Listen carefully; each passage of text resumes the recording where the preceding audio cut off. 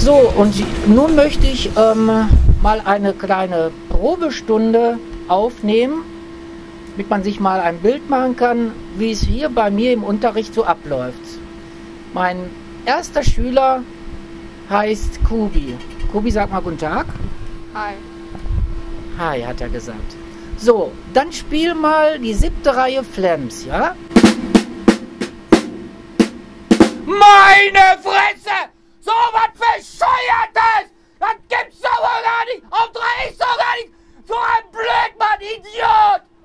Konzentrieren uns nochmal, ja? Ja. Und, ähm, ich sag dir nur eins. Machst du das nochmal falsch? Du fliegst ja raus! Ich sag dir, ich werd doch bescheuert!